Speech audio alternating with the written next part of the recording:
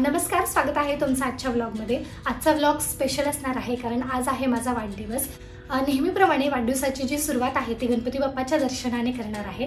आज आहे चार ऑगस्ट आणि त्यात आहे चतुर्थी म्हणजे जो दुग्ध शर्करा योग आहे तो जुळून आलेला आहे. तर चला व्लॉगची सुरुवात गणपती बाप्पाच्या दर्शनाने करूया. तर सकाळचे सव्वा सहा वाजलेले आहेत. आमचं सगळं आवरलेलं आहे. मस्तपैकी कडक चहा घेतलेला आहे आणि निघालो आहोत गणपती बाप्पाच्या दर्शनाला. तर पुण्याजवळ अष्टविनायकापैकी एक गणपती मंदिर आहे आणि ते आहे श्री क्षेत्र चिंतामणी गणपती मंदिर श्री क्षेत्र थेऊर. तर तेथे आम्ही गेलेलो आहोत. गणपती बाप्पासाठी फुलं हार दुर्वा नारळ घेतलेला आहे. चतुर्थी होती त्यामुळे भरपूर गर्दी होती इथे. पण गर्दी जरी असली तरी दर्शन खूप छान झालेलं आहे. मंदिराचं पावित्र्य राखता यावं यामुळे याच्या पुढचा शूट मी केलेला नाही. नेहमीच मी माझा वाढदिवस जवळच्या लोकांसोबत फॅमिलीसोबत हॉटेलमध्ये जाऊन वेगवेगळ्या ठिकाणी जाऊन सेलिब्रेट केलेला आहे. पण खूप वर्षांची इच्छा होती की माझा जो वाढदिवस आहे तो अनाथाश्रमात जाऊन साजरा करता यावा आणि माझ्याकडनं जी काही थोडीफार मदत होईल ती त्यांना द्यावी.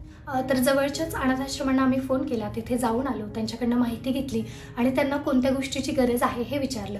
त्यावर त्यांनी सांगितलं की महिन्याचा जो किराणा माल आहे तो त्यांना कमी पडतो. तर किराणा मालमध्ये काहीतरी देण्यासारखं तुम्हाला असेल तर तुम्ही देऊ शकता. त्यामुळे माझ्या बजेटमध्ये जे बसेल ते आणि माझ्या बजेटप्रमाणे हे जे सामान आहे ते मी त्यांच्यासाठी घेतलेलं आहे. किराणा मालामध्ये ज्या बेसिक गोष्टी लागतात त्या मी घेतलेल्या आहेत. तर येथे घेतलेले आहेत गहू त्यानंतर घेतलेलं आहे तांदूळ त्यानंतर घेतलेली आहे साखर तेलाची कॅन चहा पावडर घेतलेली आहे.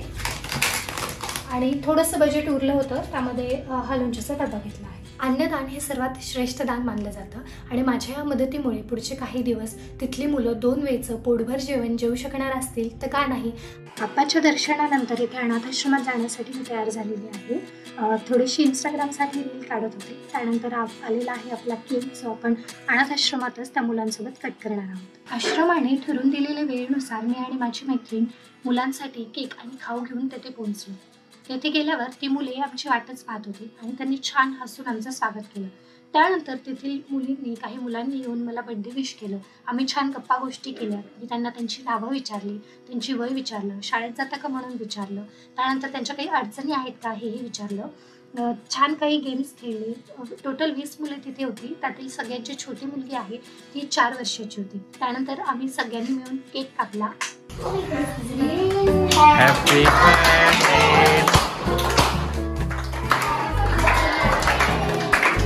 त्यानंतर तेथे सर्वांना मी केक भरवला. त्यानंतर आश्रमाची अजून थोडी माहिती घेतली. ही जी भिंत आहे यावर आश्रमांना लोकांनी दिलेल्या भेटी त्यानंतर आश्रमाने काढलेली सहल आश्रमांना मिळालेली पारितोषिक आणि सर्टिफिकेट लावलेली आहे. त्यानंतर आम्ही सर्वांनी मिळून फोटो काढला. आणलेली जी मदत होती ती तेथील संचालकांना देऊ केली खूप छान आणि वेगळा अनुभव आज अनुभव आजचा हा व्लॉग दाखवण्याचा हेतू दिखावा करण्याचा बिलकुलही नव्हता. माझा प्रामाणिक हेतू हा होता की हा व्लॉग बघून कुणी एक जरी व्यक्ती इन्स्पायर झाली तरी गरजू लोकांना मदत पोहोचेल. आज मी जिथे गेले होते त्यांनी फक्त दोन वेळच्या जेवणासाठी ज्या काही गोष्टी कमी पडतात त्या मागितलेल्या आहेत.